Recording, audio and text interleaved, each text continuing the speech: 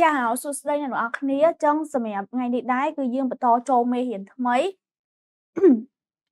ទី18课ទី18课មេរៀនទី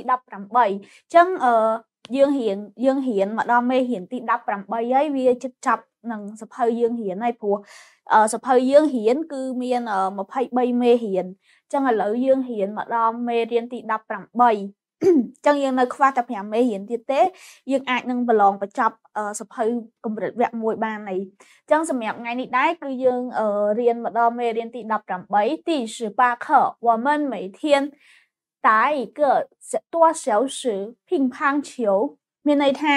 អឺជារៀងរាល់ថ្ងៃពួកយើងចំណាយពេល1ម៉ោងដើម្បីលេងភីងផាំងឈៀវនឹងមានន័យថាកីឡាវាយអឺកូនបាល់បើយើងនិយាយថាកីឡាវាយកូនបាល់ហ្នឹងវាអាចច្រឡំគ្នាមួយអាកូនបាល់មួយទៀតប៉ុន្តែអានេះភីងផាំងជ្រាវហ្នឹងមានន័យថា អាកីឡាវាយពេញប៉ុងអាវាយលើតុភីងផាំងជ្រាវពេញប៉ុងសឹងឈើសឹងឈើថោថោមានន័យថាក្បាលថឹងថឹងមានន័យថាឈឺឧទាហរណ៍ដូចយើងឈឺអ្វីមួយអញ្ចឹងយើងអាចប្រើពាក្យថាថឹងឧទាហរណ៍ឈឺក្បាលថោថឹងថោថឹងឈឺក្បាលទៅពេលថងមួយម៉ាត់មានន័យថាឈឺពីង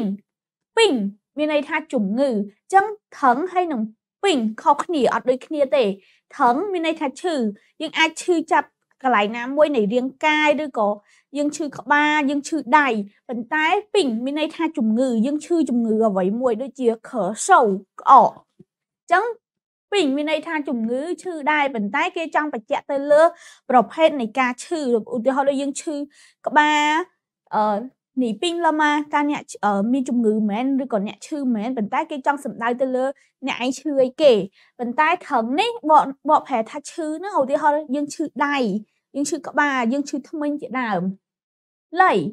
លៃមានន័យថាហត់លៃហត់ណាណាចឹងណាពេលដែលយើងរៀនពីមេរៀនមុនយើងបកប្រែថាអឺណាបែបនេះមានន័យថាអឺនោះ នៅពេលណាមានន័យថាឯណាតែណានៅក្នុងមេរៀននេះយើងបកមួយទៀតអឺវានៃវាប្រហាក់ប្រហែលថាក្រែងលោឬក៏ឬមួយកកានកានមានន័យថាធ្វើកានធ្វើអញ្ចឹងអឺពាក្យដែលយើងធ្លាប់រៀនមកជក់ក៏មានន័យថាធ្វើដែរប៉ុន្តែកានក៏មានន័យថាធ្វើដែរអញ្ចឹងជាទូទៅអ្នកទាំងអស់គ្នាដែរមើលរឿងភាគចិនណាមើលដែលគេស្ដាប់ជា គេនិយាយចិនណាគេគេចូលចិននិយាយថានីកានម៉ានីកានម៉ាអសរកាននឹងហើយអសរម៉ាម៉ាសញ្ញាឲ្យម៉ាពាក្យដែលប្រើក្នុងប្រយោគសំណួរនីកានម៉ាតើអ្នកធ្វើអីគេចឹងជាទូទៅគេច្រើនតែប្រើថានីកានម៉ាកានម៉ាតើអ្នកធ្វើអីគេចឹងបើយើងនិយាយថានីជួសមក៏បានដែរប៉ុន្តែអាចនិយាយបានថានីជួសមហ្នឹងក្នុងន័យធម្មតាមួយទៀតដែលយើងអាចប្រើបានប៉ុន្តែជាទូទៅ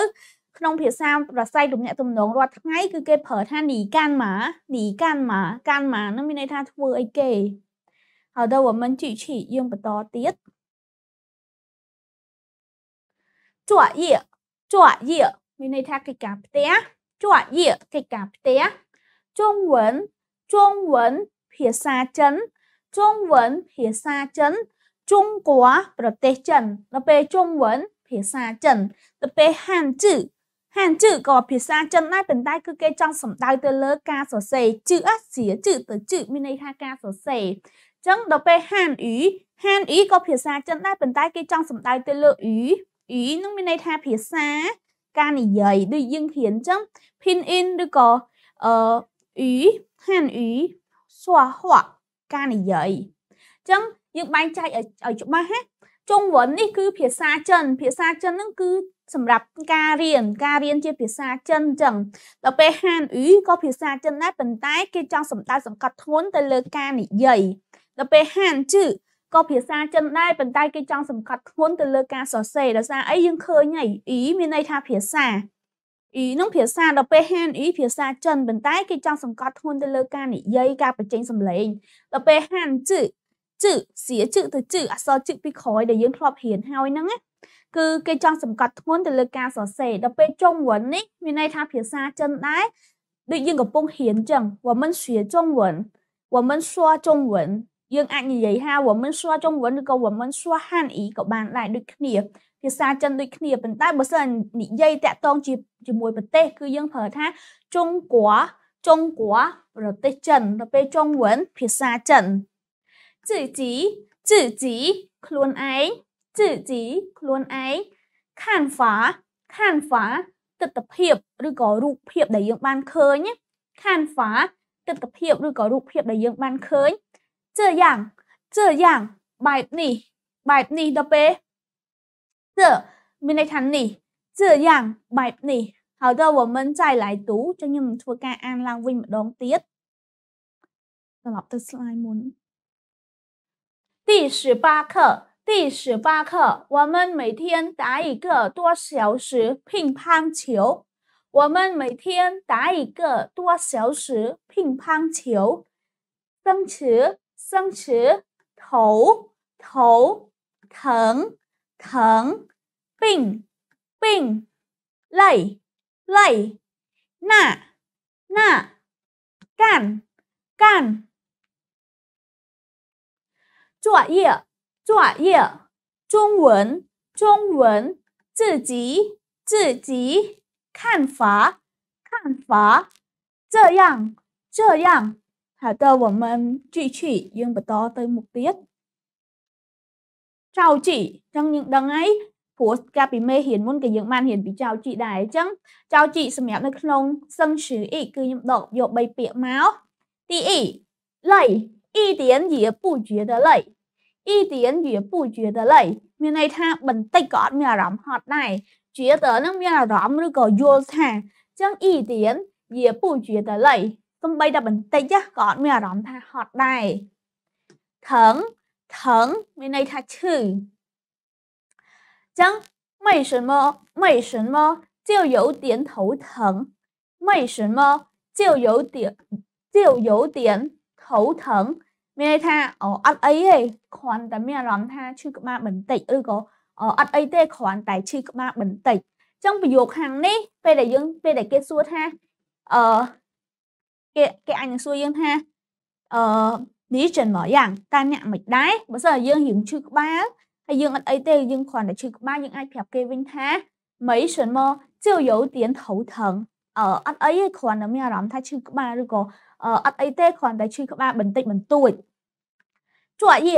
作业今天的作业是什么今天的作业是什么តើកិច្ចការផ្ទះថ្ងៃហ្នឹងអឺកិច្ចការផ្ទះអីគេដែរតើថ្ងៃហ្នឹងមានកិច្ចការផ្ទះអីគេដែរអញ្ចឹងសម្រាប់ចៅជីសឹងជ្រើអីគឺខ្ញុំដកយកមក3ពាក្យសម្រាប់ជាឧទាហរណ៍អ្នកទាំងអស់គ្នាមើលហើយដូចខ្ញុំបានបញ្ជាក់ចឹងការតែងចៅជីមានន័យថាយើងត្រូវយល់ពីអត្ថន័យពាក្យខាងមុខនេះថាពាក្យខាងមុខ ពាក្យខាងមុខហ្នឹងបកប្រែថាម៉េចហើយដើម្បីតែងបាន គឺយើងត្រូវរនឹក clear ដែលយើងចង់តែងសិនព្រោះពេលឧទាហរណ៍ដូចជាពាក្យថាលៃមានន័យថាហត់អញ្ចឹងបើសិនជាពាក្យតាក់ទងមួយហត់ធ្វើមិនបានហត់បានបង្កើតប្រយោគនឹងបានអញ្ចឹងយើងត្រូវនឹកពាក្យហ្នឹងជាភាសាខ្មែរឲ្យបានសិនហើយយើងចាប់ដើមយកពាក្យចិនដែលយើងធ្លាប់រៀនហ្នឹងមកបំពេញមកផ្គុំនិយាយណាអញ្ចឹងឧទាហរណ៍3នេះអ្នកទាំងអស់គ្នាអាចមើលតាមនឹងបានហើយ អាចវឹកហាត់តែងខ្លួនឯងបន្ថែមខុសពីនឹងបានដោយសារតែពេលដែលអ្នកទាំងអស់គ្នាអាចតែងចោលជីកបានណាគឺអ្នកទាំងអស់គ្នាកាន់តែរីកចម្រើនភាសាចិនព្រោះធ្វើឲ្យអ្នកទាំងអស់គ្នាចេះពាក្យហើយចេះប្រយោគទៀតអញ្ចឹងធ្វើឲ្យអ្នកទាំងអស់គ្នាឆាប់ចេះនិយាយ好的，我再来读造句。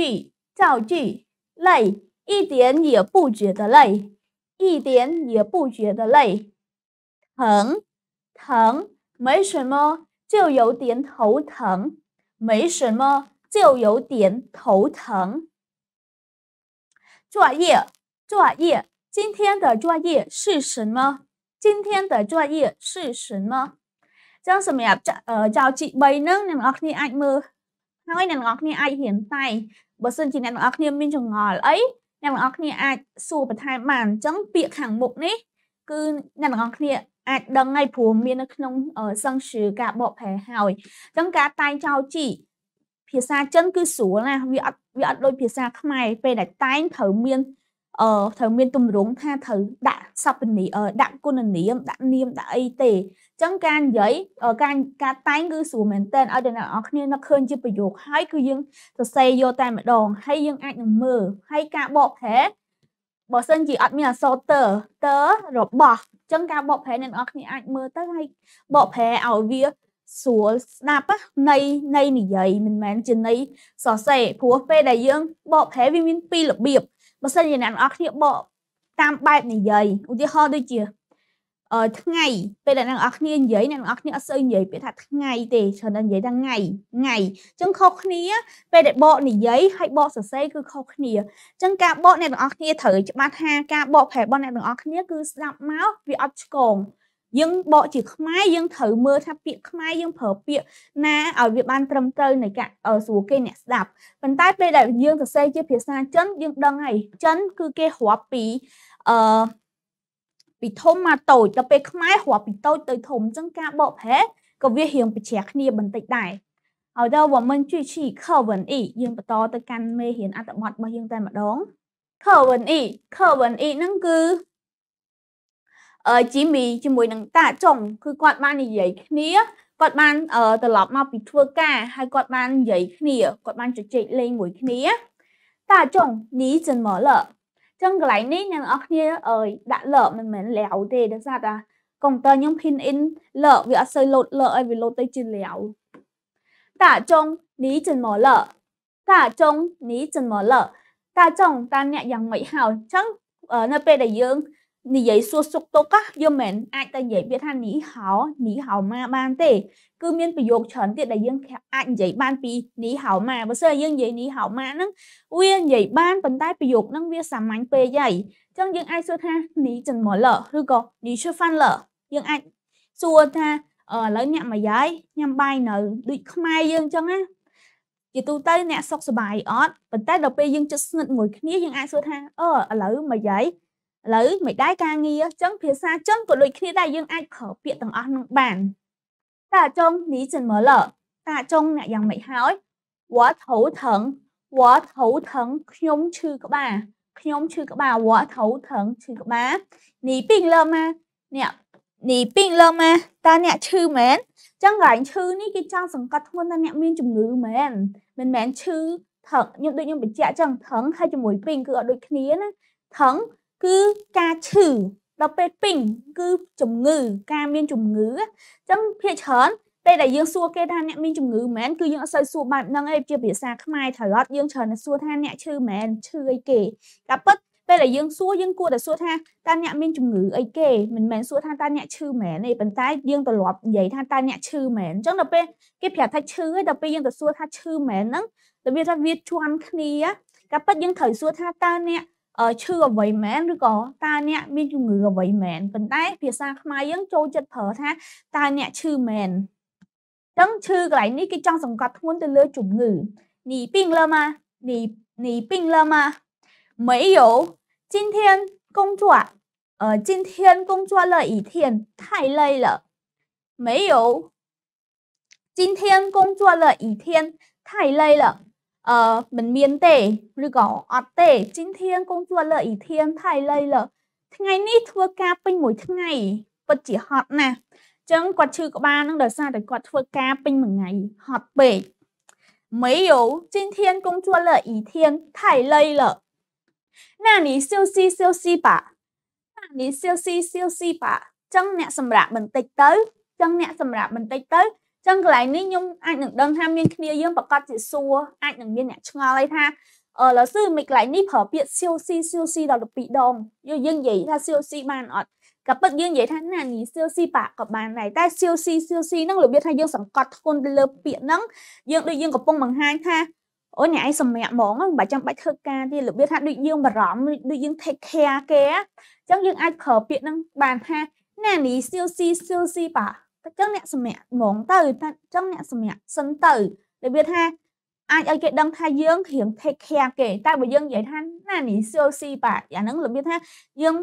អឺធម្មតាយើងប្រាប់គេយកគួរតែដល់ពេលយើងប្រាប់ថាណានេះ COC COC បាទហ្នឹងរបៀបថាដូចយើងរៀង take care take care គេខុសពីធម្មតារបៀបថាយើងបារម្ភពីគេខ្លាំងអញ្ចឹងណាអញ្ចឹងកន្លែងហ្នឹងគឺអ្នកទាំងអស់គ្នាអាចប្រើតែសៀវស៊ីតែមួយក៏បានដែរ 没关系，你今天干什么了？没关系，你今天干什么了？呃，Monday，da，hai ni nian tui wei dai keng 你干什么？正呃干什么了？那个班那个干嘛？个班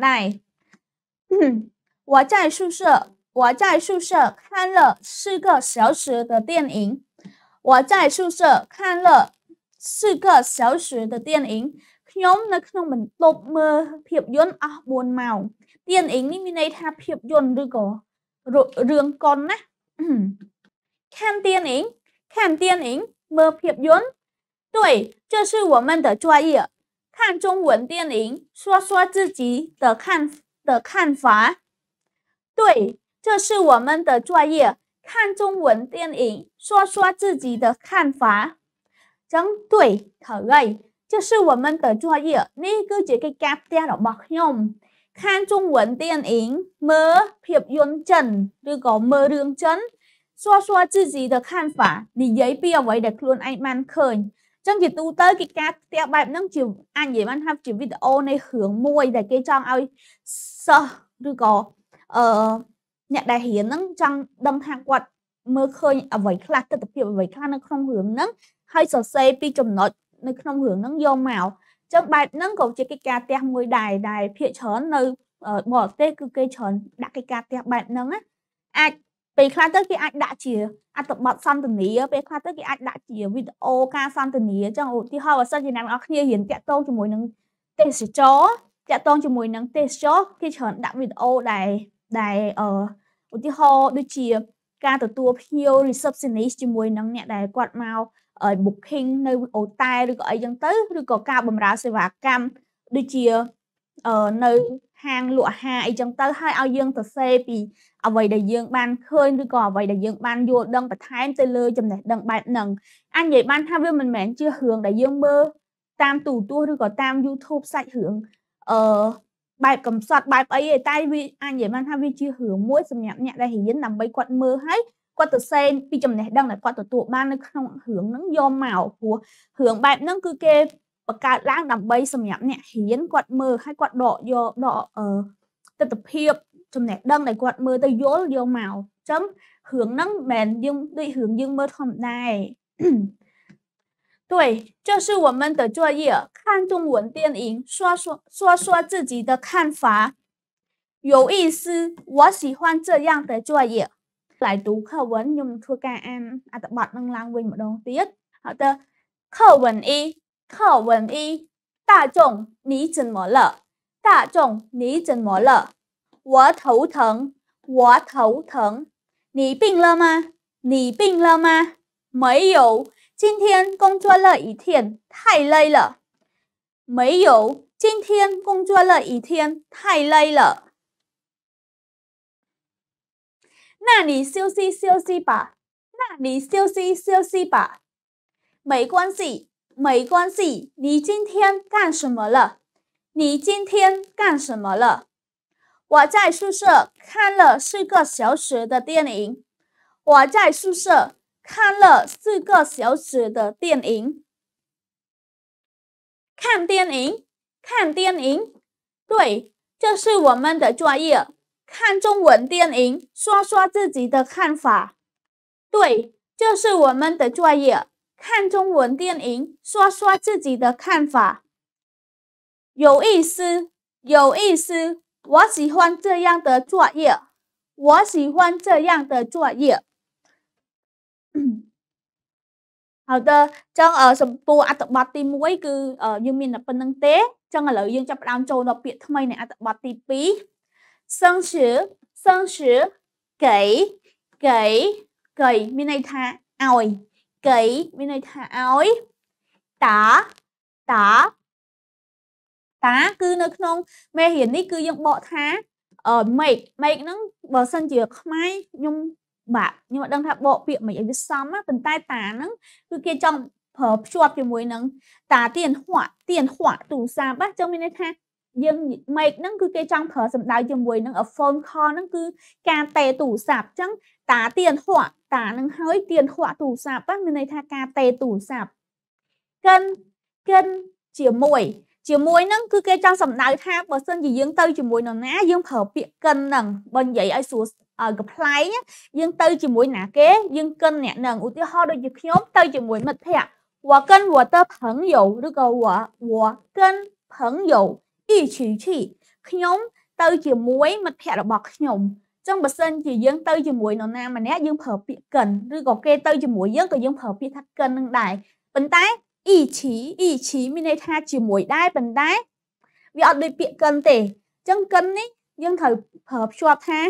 បើសិនជាយើងទៅជាមួយមិត្តភ័ក្តិវ៉ាកិនផឹងយោអ៊ីឈីឈីខ្ញុំទៅជាមួយមិត្តភ័ក្តិរបស់ខ្ញុំឬក៏អឺ មិត្តភ័ក្តិរបស់ខ្ញុំទៅជាមួយខ្ញុំអញ្ចឹងយើងត្រូវប្រើពាក្យពាក្យកិនហ្នឹងនៅចំណុចកណ្ដាលរវាងយើងជាមួយមិត្តភ័ក្តិយើងឬក៏មិត្តភ័ក្តិយើងជាមួយនឹងយើងបើសិនជាយើងត្រូវទៅមួយណាគេម្នាក់តួតួច្រើនអ៊ីហួយអ៊ីហួយមួយផ្លែតអ៊ីហួយមួយផ្លែតចឹងអ៊ីហួយមួយផ្លែតអឺអ៊ីសៀក៏មួយផ្លែតដែរដល់ពេលអ៊ីទៀនបន្តិចបន្តួចស៊ីងវ៉ាន់ ស៊ីងវ៉ាន់ព័ត៌មានធីងធីងស្ដាប់អ៊ីនយឺអ៊ីនយឺតន្ត្រីចឹងចៅជីរបស់យើងគឺមានអឺ5ពាក្យដែលខ្ញុំដកស្រង់ចេញមក第一给这本书是给你的这本书是给你的ចឹងអឺ给មានន័យថាឲ្យ这本书是给你的 ចឹងសភៅនេះគឺឲ្យអ្នកសៀវភៅនេះគឺឲ្យអ្នកចឹងឃើញអត់អ្នកនរគ្នាមានអាចនឹងឆ្ងល់ថាមិនក៏មានពាក្យតតហើយការបកប្រែមិនទៅអញ្ចឹង neater នេះគឺចង់សំដៅថាយើងឲ្យសភៅហ្នឹងទៅជារបស់ម្នាក់នេះមិនមែនយើងឲ្យហ្នឹងឲ្យម្នាក់ហ្នឹងជួយកាន់ឬក៏អីទេ这本书是给你的អញ្ចឹងខ្ញុំឲ្យសភៅនេះគឺឲ្យអ្នកអញ្ចឹងសភៅហ្នឹងឲ្យយើងឲ្យគេ វាជារបស់គេហើយអញ្ចឹងយើងត្រូវបញ្ជាក់តើនឹងឲ្យឲ្យលីនេះផងអញ្ចឹងអីបិនស៊ូគឺគេនេះដែរអញ្ចឹងសភៅនឹងខ្លាចជារបស់ម្នាក់នេះអញ្ចឹងពេលដែលខ្លាចជារបស់របស់គឺយើងត្រូវប្រើពាក្យតើឧទាហរណ៍ដូចជា water របស់ខ្ញុំ neither របស់អ្នកអញ្ចឹងពេលដែលចើបិនស៊ូគឺគេនេះតើគឺយើងឲ្យសភៅទៅខ្លាចជារបស់ម្នាក់នេះអញ្ចឹងយើងត្រូវប្រើពាក្យតើប៉ុន្តែបើសិនជាមានតើមួយទៀតឧទាហរណ៍ដូចជា 我的爸爸去旅行អញ្ចឹងការបកប្រែក៏យើងត្រូវមើលដែរគឺយើងបកពីក្រោយអក្សរតើ我的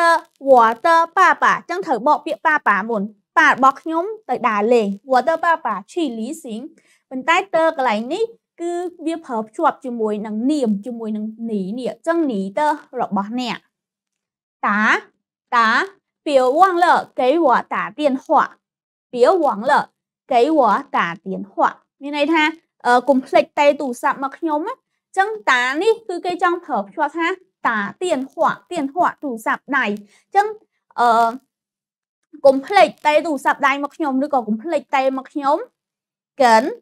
កិនមានន័យថាជាមួយសាកយាវ៉ាកិនភងយោឈីសាងហាយលីយោសាកយា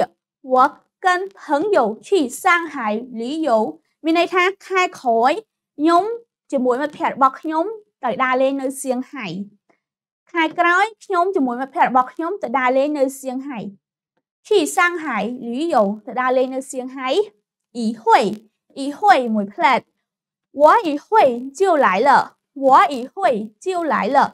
ខ្ញុំបន្តិចទៀតនឹងមកវិញហើយឬក៏បន្តិចទៀតខ្ញុំមកវិញហើយអញ្ចឹងអ៊ីហ៊ុយមានន័យថាមួយផ្លែតអញ្ចឹងក្រៅពីប្រយោគអស់ហ្នឹងក៏យើងអាចរកប្រយោគផ្សេងបានដែរ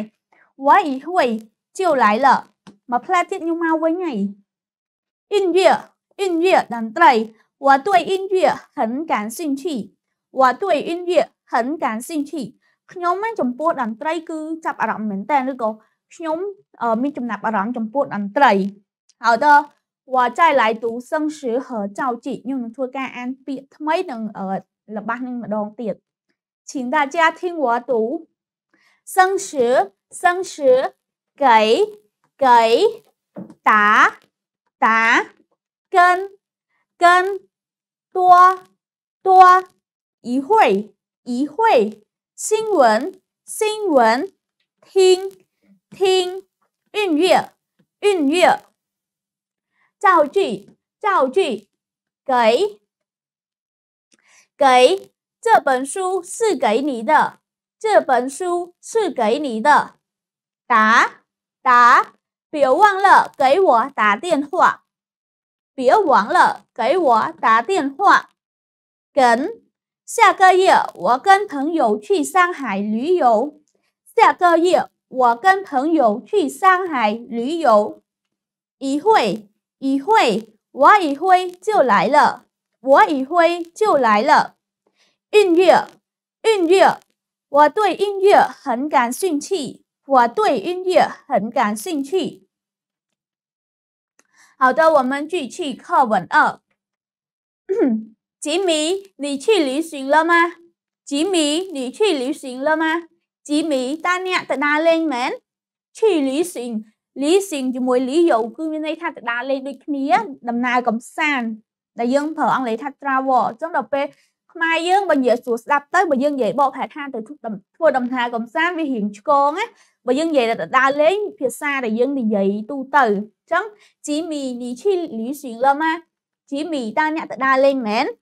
mấy dụ á mấy dụ á ờ អត់មានទេអត់មានទេឬក៏មិនមានទេ可是我每天晚上给你打电话你都不在可是我每天晚上给你打电话你都不在可是ប៉ុន្តែ 每我每天晚上给你打电话រាល់ល្ងាចខ្ញុំទេទូរស័ព្ទដៃទៅអ្នកឬក៏រាល់ល្ងាចខ្ញុំទេទៅអ្នក你都不在អ្នកសុទ្ធតែមិននៅអូ我跟朋友一起去打打球了អូ我跟朋友一起去打球了អូខ្ញុំទៅលេងបាល់ជាមួយមិត្តភ័ក្តិរបស់ខ្ញុំចឹងតាកន្លែងនេះដូចយើងធ្លាប់រៀនពីមេរៀនមុនមកហើយតាពេលដែលប្រើភ្ជាប់ជាមួយអក្សរជ្រាវបាល់ហ្នឹង គឺគេចង់សង្កត់ធ្ងន់ថាអឺលេងបាល់ចឹងបើសិនជាតាបកធម្មតាដែលអត់តាក់តងជាមួយនឹងទៀនហក់ឬក៏ជ្រាវទេគឺយើងបកថាវាយតាហ្នឹងមានន័យថាវាយតែដល់ពេលតាទៀនហក់ទេទូរស័ព្ទដៃតាជ្រាវលេងបាល់打什么球？篮球吗？打什么球篮球吗 លេងបាល់អ្វីបាល់ទាត់មែនឡានឈៀវនេះមានន័យថាបាល់ទាត់មែន不是我每天晚上打一个多小时乒乓球八八点多回来不是我每天晚上打一个多小时乒乓球八多八点多回来不是មិនមែនទេពួកយើងរាល់ល្ងាច លេងកីឡាប៉េងប៉ុង1ម៉ោងម៉ោង8ជាងបានត្រឡប់មកវិញអញ្ចឹងភីងផាងជ្រាវនេះមានន័យថាអឺប៉េងប៉ុងយើងយើងឃើញអក្សរនឹងរៀងចម្លែកអត់អើយភីងភីងនេះគឺខាងឆ្វេងដល់ពេលផាំងមកខាងស្ដាំអញ្ចឹងកីឡាហ្នឹងភាគច្រើនគឺគេវាយឆ្វេងហើយវាយស្ដាំអញ្ចឹងភីងផាងជ្រាវមានន័យថាអឺវាយកីឡាប៉េងប៉ុងណាដែលយើងនិយាយទូទៅថាវាយប៉េងប៉ុងវាប៉េងប៉ុងនឹងឯង 你晚上还干什么？你晚上还干什么？Ta nè bên là nghĩa nơi thuê tiết. Ta nè nơi bên là nghĩa nơi thuê xanh tiết. Sang sang quảng. Yếu sử hậu kênh ba ba ma ma tại quảng sang léo léo thiên. Nì nè. Sang sang quảng. Yếu yếu sử hậu kênh ba ba ma ma tại quảng sang léo léo thiên. Nì nè. Sang sang quảng này là biết hai dương ở lên internet á. សាំងសាំងនេះមានន័យថាសាំងមានន័យថាលើដល់ពេលសាំងហ្វងដូចយើងអនឡាញដែលយើងនិយាយថាអនឡាញ有的时候跟爸爸妈妈在网上聊聊天មានពេលខ្លះជជែកលេងជាមួយប៉ាម៉ាក់ក្នុងអ៊ីនធឺណិតសាំងហ្វងនេះអនឡាញលេងអ៊ីនធឺណិតដល់ពេលហ្វងសាំងនេះអ៊ី លាវលាវធៀងកាពិតលាវធៀងយើងនិយាយបាច់មានលាវមួយទៀតទេលាវធៀងមានន័យថាជជែកគ្នាទៅពេលលាវលាវធៀងហ្នឹងរបៀបថាយើងចង់សង្កត់ធ្ងន់ទៅលើពាក្យហ្នឹងលាវលាវធៀងហ្នឹងក៏បកប្រែថាជជែកលេងដែរគាត់ថាយើងរៀងសង្កត់ធ្ងន់នេះណាចុះអ្នកវិញ我网上看一会电视新闻，有的时候听音乐，听听音乐，看看书，没别的。我晚上看一会电视新闻，有的时候听听音乐，看看书，没有别的。ខ្ញុំពេលល្ងាចអឺមើលមើលព័ត៌មានក្នុងទូរទស្សន៍បន្តិចអ៊ីហួយហ្នឹងរបៀបថាមួយផ្លែតចឹងមានន័យថាពេលល្ងាចខ្ញុំមើលព័ត៌មានក្នុងទូរទស្សន៍មួយផ្លែត有的时候听听音乐មានពេលខ្លះស្ដាប់ចម្រៀង看看书មើលសៀវភៅ 没有别的，后面的 với same 的 day。下次你下次你也跟我们一起去打球吧。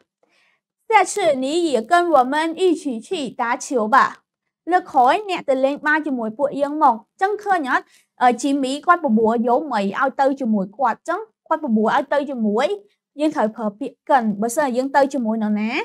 Chẳng xa, xưa ní dìa cân của mình y chỉ chỉ đá chiều bà. យើងត្រូវប្រើពាក្យកិនបើសិនយើងទៅជាមួយនរណាចឹង下下次你也跟我们一起去打球吧ចឹងលើកក្រោយអ្នកទៅលេងបាល់ជាមួយពួកយើងមក好啊一定去好啊一定去好的我再来读អឺខ្ញុំនឹងធ្វើការអានឡើងវិញម្ដងទៀត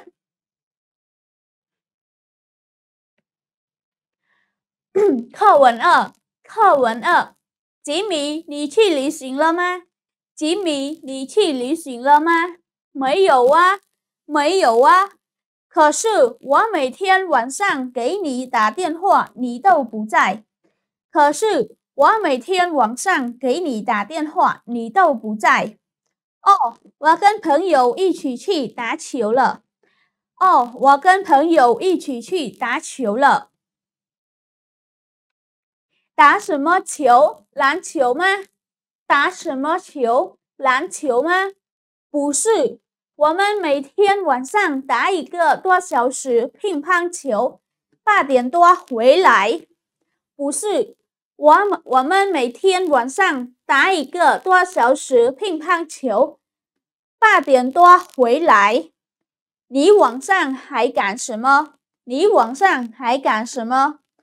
上上网，有的时候跟爸爸妈妈在网上聊聊天。你呢？上上网，有的时候跟爸爸妈妈在网上聊聊天。你呢？我晚上看一会电视新闻，有的时候听音乐，看，有的时候听听音乐，看看书，没别的。我晚上看一会电视新闻，有的时候听听音乐，看看书，没别的。下次你也跟我们一起去打球吧。下次你也跟我们一起去打球吧。好啊。一定要去，好啊，一定去。接下来，好啊，一定去。ល្អតាប្រកាសជាទៅអ៊ីទីងឈីនឹងអ៊ីទីងមានន័យថាប្រកាសអញ្ចឹងបើសិនយើងប្រកាសហើយយើងប្រើពាក្យអ៊ីទីងនឹងទៅ好啊一定去好的我们呃 继续អញ្ចឹងយើងមកដល់គង់នឹងជីហើយចឹងយើងនឹងធ្វើការសម្រាប់15នាទីហើយ15នាទីក្រោយយើងនឹងចូលមកវិញយើងនឹងធ្វើការអានមេរៀនឡើងវិញម្ដងទៀតហើយយើងនឹងបញ្ចប់កុងនឹងជីចឹងបើសិនជាអ្នកទាំងអស់គ្នាមានចម្ងល់ឬក៏សំណួរសម្រាប់អត្ថបទទី1ទី2អ្នកទាំងអស់គ្នាអាចសួរនៅក្នុងក្រុមបានហើយយើងនឹងចូលមកវិញនឹងបញ្ចប់មេរៀននឹងទាំងអស់គ្នា តាចាស់សួស្តីអ្នកនរគ្នាចឹងឥឡូវយើងចូលមកកាន់មេរៀនយើងវិញចឹងខ្ញុំនឹងធ្វើការអានឡើងវិញម្ដងទៀតហើយបើសិនជាអ្នកទាំងអស់គ្នាអ្នកដែលគាត់ចូលមកក្រោយអ្នកទាំងអស់គ្នាមានចម្ងល់ឬក៏សំណួរកន្លែងណាអ្នកទាំងអស់គ្នាអាចសួរបន្ថែមបាន好的请大家听我读第十八课第十八课我每我们每天打一个多小时乒乓球 我们每天打一个多小时乒乓球生词生词头头疼疼病病累累那那干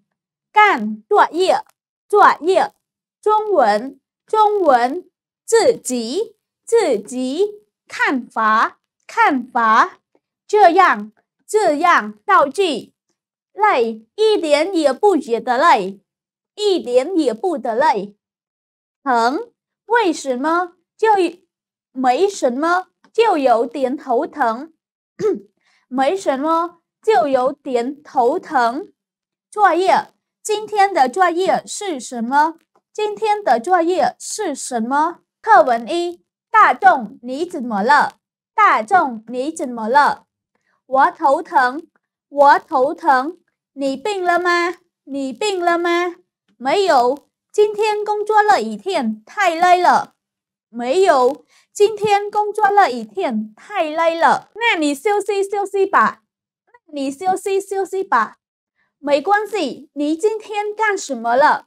没关系，你今天干什么了？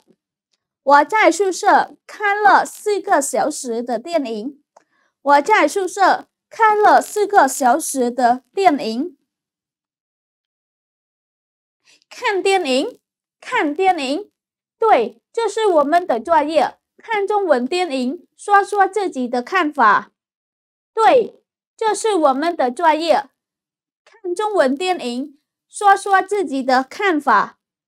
有意思，有意思，我喜欢这样的作业。我喜欢这样的作业。生时，给，给。答答跟跟多多一会一会新闻新闻听听音乐音乐造句给这本书是给的你这本书是给你的这本书是给你的别忘了。给我打电话，别忘了给我打电话。下个月我跟我跟朋友一起去上海旅游。下个月我跟朋友去上海旅游。一会，我一会就来了。我一会就来了。我对电影，我对音乐很感兴趣。我对音乐很感兴趣。课文二，课文二，吉米，你去旅行了吗？吉米，你去旅行了吗？没有啊，没有啊。可是我每天晚上给你打电话，你都不在。可是我每天晚上给你打电话，你都不在。哦，我给朋，我跟朋友一起去打篮球。打球了，哦，我跟朋友一起去打球了。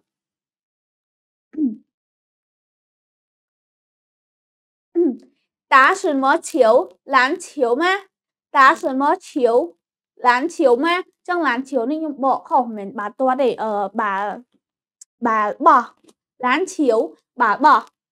不是，我们每天晚上打一个多小时乒乓球。八点多回来，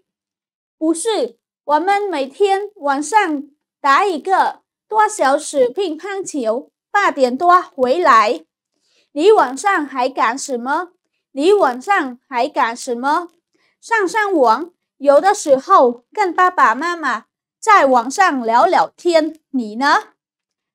上上网，有的时候跟爸爸妈妈在网上聊聊天。你呢？我晚上看一会电视新闻，有的时候听听音乐，看看书，没别的。我晚上看一会电视新闻，有的时候听听音乐，看看书，没别的。下次你也跟我们一起去打球吧。下次你也跟我们一起去打球吧。好啊，一定去。好啊，一定去。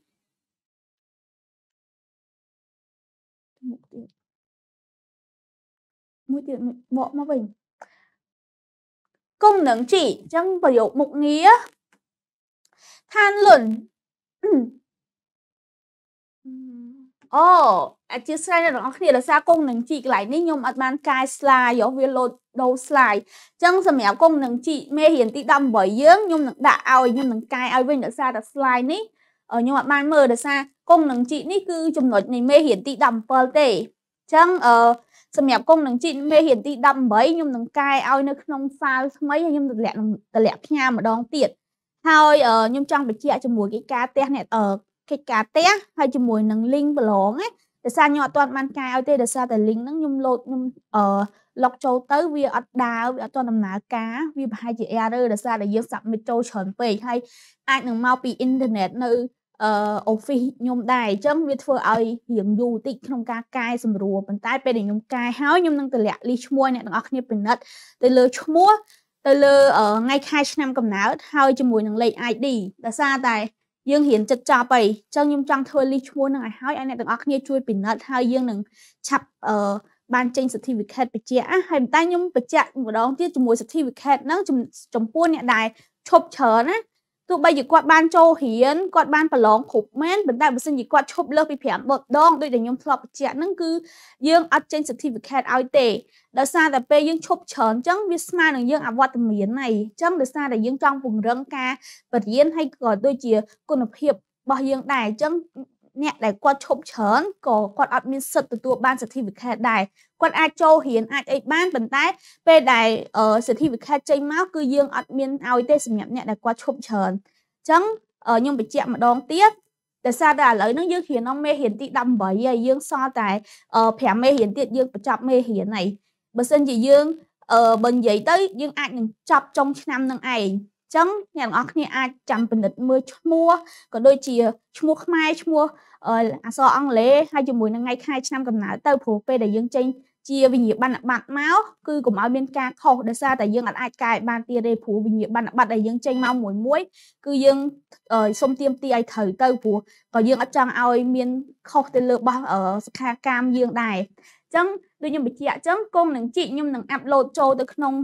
file ម្ដងទៀតឲ្យហើយ ចំពោះអ្នកដែលគាត់ឈប់ច្រើនហ្នឹងដូចខ្ញុំធ្លាប់ចឹងគឺគាត់ដឹងហើយអញ្ចឹងអ្នកដែលគាត់ឈប់ច្រើនហ្នឹងគាត់អាចទោះបីជាគាត់មានបញ្ហាគាត់រវល់អីមែនប៉ុន្តែតាមគោលការណ៍យើងបើអ្នកឈប់លើសពី5ដងដោយអត់បានសុំច្បាប់ហើយបើអ្នកសុំច្បាប់គាត់សុំច្បាប់បានតែ5ដងឯងបើសិនជាអត់សុំច្បាប់5ដងគឺអត់មានសិទ្ធទទួលបានវិញ្ញាបនបត្រទេតែបើសុំច្បាប់5ដងហ្នឹងអ្នកទាំងអស់គ្នាអាចប្រឡងសងឡើងវិញអញ្ចឹងតាមយើងមើលជាក់ស្ដែងព្រោះ ពេលដែលអ្នកទាំងអស់គ្នាឈប់ពី5ដងទៅហ្នឹងវាឈប់ច្រើនណាអាចនិយាយបានថាវាច្រើនព្រោះក្នុង5ដងហ្នឹងគឺអ្នកទាំងអស់គ្នាខាត5មេរៀនបាត់ហើយព្រោះ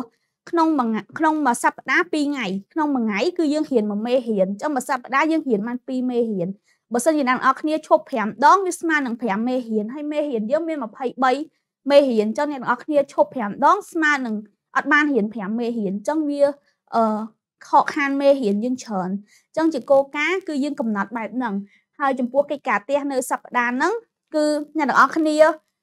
តែងចោលជីឲ្យបាន5ពាក្យអ្នកទាំងអស់គ្នាអាចយកពាក្យនៅក្នុងសឹងជ្រឿនៅក្នុងពាក្យថ្មីអត្ថបទទី1ទី2ហ្នឹងអ្នកទាំងអស់គ្នាស្រឡាញ់ពាក្យណាក៏បានដែរអ្នកទាំងអស់គ្នាអាចតែងចោលជីឲ្យបាន5ពាក្យអញ្ចឹង